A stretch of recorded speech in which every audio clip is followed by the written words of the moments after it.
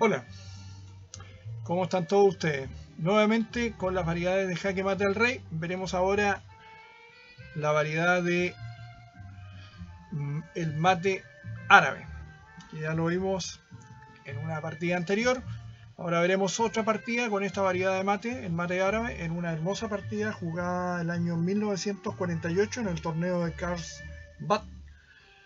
Eh, entre los jugadores Barça con las piezas blancas y Troisniewsku con las piezas negras.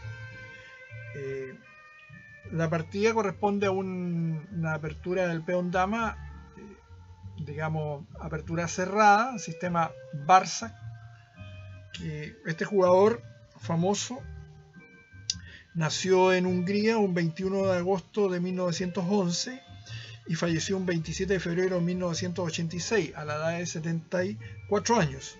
Fue maestro internacional de ajedrez en 1950 y gran maestro el año 54. Bien, su carrera en ajedrez se desarrolla en 1940. Barça ocupó el tercer lugar detrás de Mahewe y Milan Bismarck y Marozzi en Budapest. En septiembre de 1942 se llevó el sexto lugar en el primer campeonato de Europa en Múnich. El evento fue ganado por Alexander Alekhine. El año 1948 se llevó el segundo lugar en Karlovy El evento fue ganado por Jan Foltis. En 1948 él ató para el segundo tercer lugar y tercer lugar en Venecia. El evento fue ganado por Miguel Naidor. Y en 1950 él logró el segundo al cuarto lugar en Salzburg. El evento fue ganado por Paul Keres. El año 52 se llevó a cabo en Salzbaden el Intersonal y en 1957 ganó en San Benito del Trono. En 1961 ocupó el tercer lugar en Viena y el año 62 empató por el sexto lugar en Moscú. El año 62 él logró el decimocuarto lugar en Estocolmo, en el Intersonal. Barça ganó los campeonatos de ajedrez húngaro ocho veces, el año 1942, 1943, 1947, 1950, 1951, 1955, 1957 y en 1966. Él jugó para el equipo húngaro en siete Olimpiadas de ajedrez, el año 52, 54, 56, 58, 1960, 62 y 68. Barça fue galardonado con el título, como lo había dicho anteriormente, Gran Maestro el año 1954. Él es recordado por su famosa apertura sistema Barça, que la veremos a continuación. La partida comienza con un caballo F3, D5, Barça está jugando con las piezas blancas y esta es la, la línea, es muy parecido al sistema Reti también. También tiene una cierta similitud con la apertura catalana. Hay varias aperturas cerradas que por transposición pueden derivar en esquemas clásicos.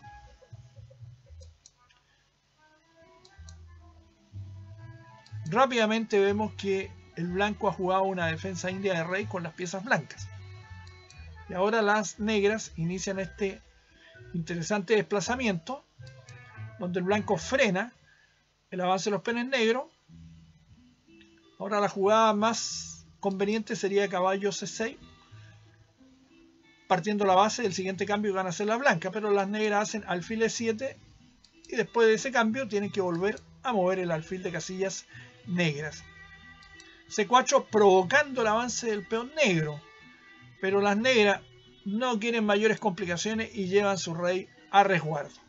Caballo C3 sigue insistiendo en que el blanco, el negro avance sus peones, pero las negras cambian esperando también cambio de dama y a lo mejor una rápida pacificación. Pero blanco tiene otros planes. Dama de 7, dama por C4, A6, buena jugada por parte de las blancas, va hacia un ataque, hacia el flanco rey, cosa que no ve absolutamente nada el negro. Y acá pierde, si hubiese visto lo que sigue, ¿no es cierto? Hubiese inmediatamente hecho caballo F a D7, sacando el, caballo en E5 de las blancas, pero hace esa jugada donde ataca a las damas y no hay problema de que el alfil blanco tenga contacto con la torre en A8, ya que la dama blanca está amenazada. Dama H4, alfil B7, caballo G4, donde si el negro jugara caballo por G4 vendría dama por dama, alfil por E7 y alfil por B7 con ventaja a las blancas. Por lo tanto, el negro captura el alfil blanco y acá viene la excelente jugada por parte de las blancas. Alfil G5. Ahora la terrible amenaza a las blancas es caballo por F6, peón por caballo, alfil por F6 amenazando la dama y amenazando un mate, lo que obligaría al abandono de las negras.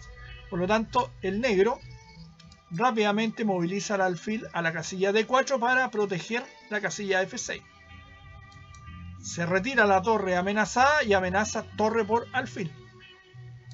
Dama por B7, protegiendo el alfil en G2 y creando algunas amenazas de mate.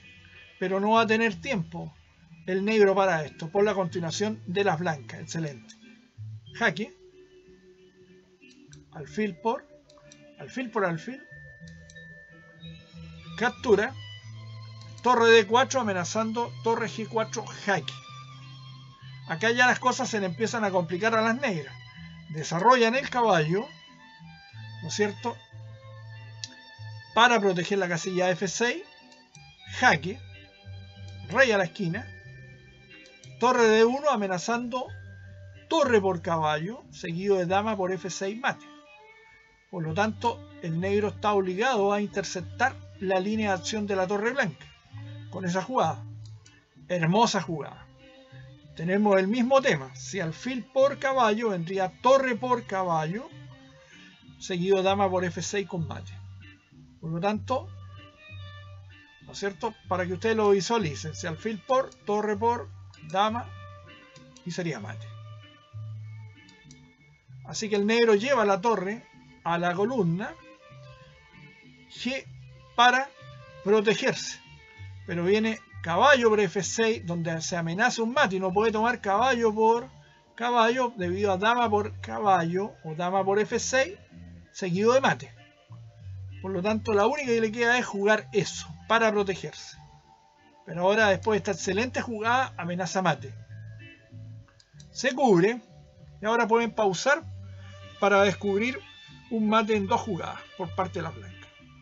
Es un hermoso mate. Estamos en presencia nuevamente del mate árabe, que se produce de la siguiente manera. Sacrificio de dama, obligado el negro a tomar torre por H y torre por torre jaque mate. Este es el famoso y hermoso mate árabe. La torre amenaza fatalmente al rey de las negras con apoyo de su caballo en la casilla F6. Espero que haya sido del agrado de todos ustedes esta linda partida que nos ha mostrado una vez más una variedad de los jaque mates al rey. Síganse cuidando, ha sido un agrado compartir estos momentos con ustedes este, en esta zona virtual del ajedrez. Hay que aprovechar para seguir practicando, estudiando y mejorando nuestras condiciones como jugadores de ajedrez. Ha sido un placer estar con ustedes. Muchas gracias, hasta un nuevo momento.